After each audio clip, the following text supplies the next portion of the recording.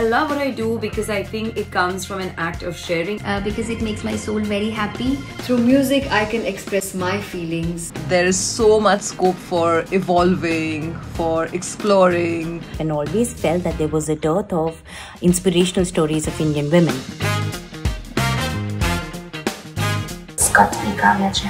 I love what Sand Dunes is doing. Madam Noor Jahan ji, Lata ji, Asha ji, and yeah, my favorite uh, Sunidhi Chauhan.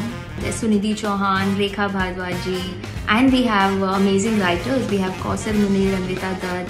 From singers such as Neha Bhasin to female colleagues of mine. One is, of course, uh, Oprah. The other woman that I really um, uh, get inspired by is perhaps Priyanka Chopra. Kalki, Mae Thomas, Sarah Koenig, and Terry Gross.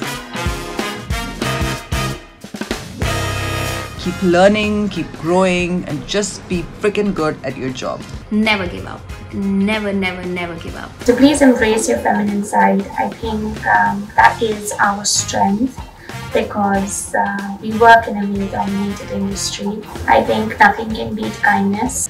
सबसे बड़ा रोग है क्या कहेंगे लोग just get rid of that. Just think of it as stop worrying about what the world will say and go do your thing. Be a good listener. Some of the best female voices in podcasting are also good listeners. Believe in your inner strength and to never, never underestimate yourself.